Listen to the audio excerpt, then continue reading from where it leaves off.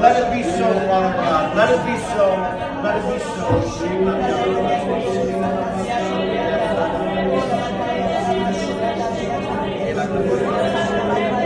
Lord, right now we just release the presence of the Lord in the Senate chamber. We just release the hovering glory of God Almighty in the Senate chamber. Arizona Republican State Senator Anthony Kern invited an anti abortion prayer group to the Senate floor. Seen in a video filmed by an anonymous attendee, Kern led the group through a prayer and speaking in tongues as they knelt over the state seal. Let it be so, Father God. Let it be so. Let it be so.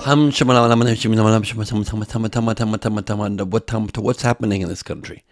we are getting crazier and crazier. That was a prayer circle being spoken in tongues that was led by Republican state senator in Arizona, Kern, who invited this prayer group to come and make up a language and pretend that's some sort of channeling of God right before the abortion restriction vote that decided they can uphold an 1864 law from before Arizona was a state and take away all abortion rights except for the life of the mother, something that even Donald Trump does not agree with having done, but also does agree with having done. I mean, take a look at this clip. Did Arizona go too far? Yeah, they did, and that'll be straightened out. And as you know, it's all about states' rights. That'll be straightened out.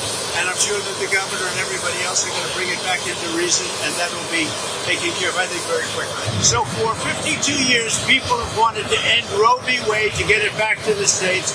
We did that. It was an incredible thing, an incredible achievement. We did that, and now the states have it, and the states are putting out what they want. It's the will of the people. You see, Donald Trump has pretty clearly, over the years, it seems to me at least, utilized abortion services, or if not, he certainly has been explicitly pro choice in the past, but to win his re-election, he, of course, installed on the Supreme Court during his first term three very conservative Supreme Court justices. The major point of that was to take away abortion access in this country and reverse Roe versus Wade, and Trump's very proud of that, something that couldn't be done in a very long time. It was an incredible thing, an incredible achievement. We did that. As he waves his hand around like a seal asking for more fish to be thrown into his ridiculous mouth. But he also says that Arizona went too far, and that Florida probably went too far, and that Florida will probably change that, and that Arizona will definitely change it. But it's so beautiful because the states get to decide this, get to decide what stuff he disagrees with and thinks is bad. So if it's so bad, then why not just have a country that has national laws like countries do for things that affect everybody in the country, like a woman's right to control her own body, to have bodily autonomy. And many Christian people, many Catholics, still can be anti abortion, as they generally are, in their own lives, but still, as they often do, realize that they shouldn't dictate their religious beliefs on other people, on other women, and just humans in general with any sort of sense of reasonability, rationality, and kindness realize you should not dictate for people what it is that they decide they get to do with their own bodies.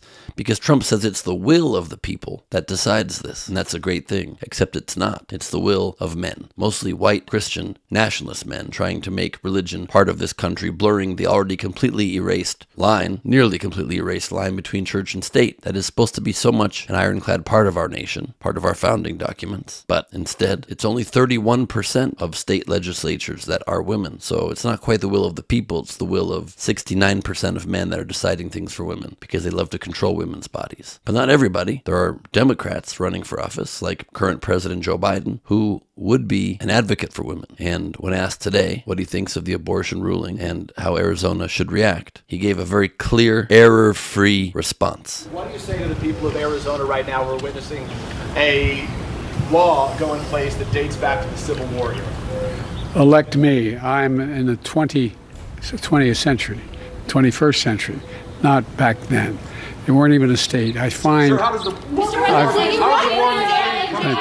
yes, electing him would be better. And yes, overall, the sentence got to a decent place. But really, I'm from the 20th century. I mean, 20, 20th century. I mean, 21st century. And Arizona wasn't even a state which is true, but you didn't really say the sentence about that fully in a way that could be understood by those who don't know the fact already. But still, we're going to vote for you. And still, you should as well, because it doesn't matter if the president is very old and stumbles on many of his thoughts and doesn't always say coherent things. It's about the moral position and the moral position that you want to be reflected in the law. And that, hands down, plain and simple, is reflected by the Biden administration, not by the Trump administration. So let the will of the people decide to let women continue to have rights and control over their own body. And to do that, you have to vote Democrat in this election. It's just as simple as that, even though it's very frustrating. It's also very simple. I'm Ben Gleib for Rebel HQ. Follow me on Instagram at Ben Gleib for lots more.